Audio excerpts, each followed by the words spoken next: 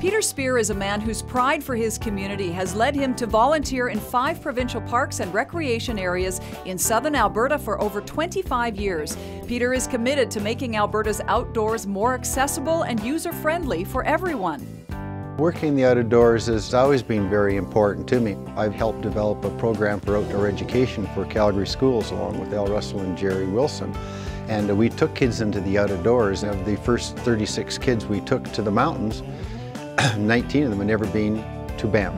But I'd just like to continue as I have and encourage more younger people to join me. I think succession is really important in any volunteer organization, that it isn't just a one-off, that they develop esprit de corps, which in fact will end up by perpetuating some of these wonderful volunteer groups and just showing uh, what a wonderful place we have Calgary is a, is a wonderful place and like everything else, acting as a good role model, strength builds upon strength sort of thing, we develop those community corps.